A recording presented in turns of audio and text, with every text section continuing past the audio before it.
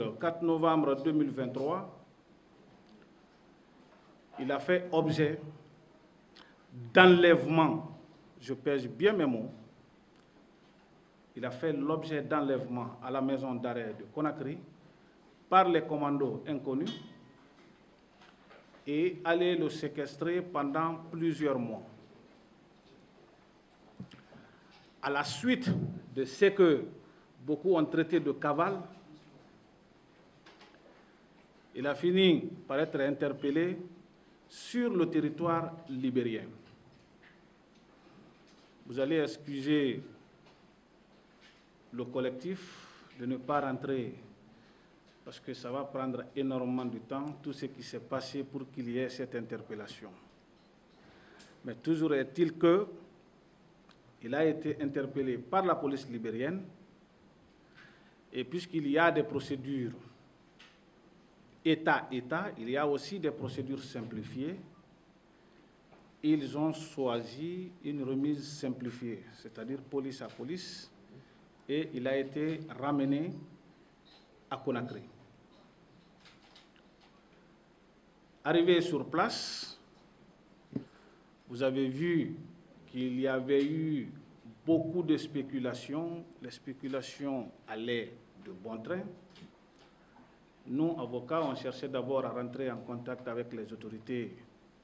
C'était compliqué, personne ne voulait tout de suite euh, communiquer sur la situation. Mais ce, que, ce qui est important, c'est qu'il faut rappeler ici, nous, nous sommes des avocats, toutes les procédures judiciaires, toutes les affaires en matière de justice, pour moi, sont les mêmes. Peut-être la particularité, parce qu'on parle du procès du 28 septembre, peut-être la particularité, parce qu'on parle du 4 novembre 2023, sinon, à mon sens, c'est un dossier judiciaire, comme tout autre.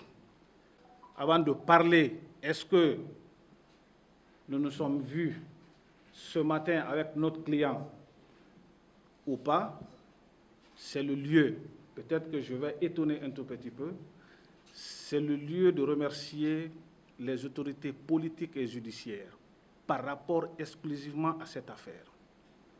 Parce qu'ils ont pris toutes les dispositions idoines pour que tout se passe bien dans le respect strict des droits humains pour qu'il n'y ait pas de bavure.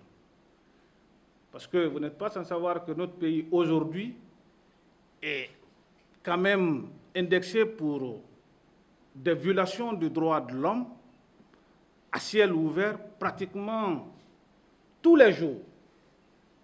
Après avoir échangé avec lui ce matin dans son lieu de détention, il nous a confié personnellement, si vous devriez communiquer, remercier pour moi son Excellence, Monsieur le Président de la Transition, qui a pris toutes les dispositions pour ne pas que quelque chose lui arrive. Mais ce qu'il faut retenir ici aujourd'hui, moi, l'un des conseils du colonel, Maître David Beyavogi également, nous, ce que nous soutenons aujourd'hui, nous, notre position, la thèse que nous défendons, notre client a fait l'objet d'enlèvement et de séquestration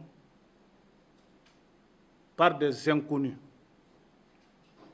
Par des inconnus. Et pour moi, aujourd'hui, cela est une vérité absolue. Et pourquoi une vérité absolue? Parce que c'est ce qui est défendu, c'est ce qui est soutenu par mon client. Donc, nous, nous avons eu, nous sommes rentrés en contact avec lui. Aujourd'hui, on a passé plusieurs dizaines de minutes ensemble.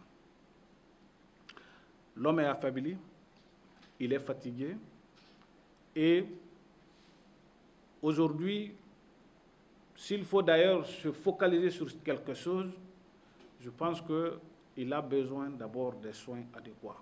Parce que les situations ou les circonstances dans lesquelles il se trouvait, aujourd'hui, pour qu'on parle de quoi que ce soit, il faudrait quand même que le monsieur retrouve sa santé.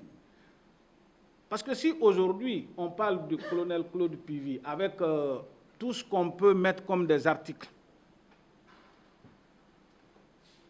parce qu'il est encore en vie.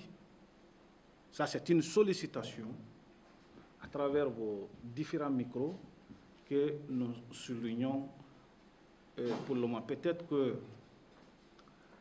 euh, je suis un tout petit peu émotif parce qu'il y a une grande différence entre nous ce matin. Nous nous sommes en train de rapporter quelque chose, mais le concerné, l'acteur principal, nous venons de le voir. Il faut être en nous pour comprendre un peu tout ce qui s'est passé pendant cette visite.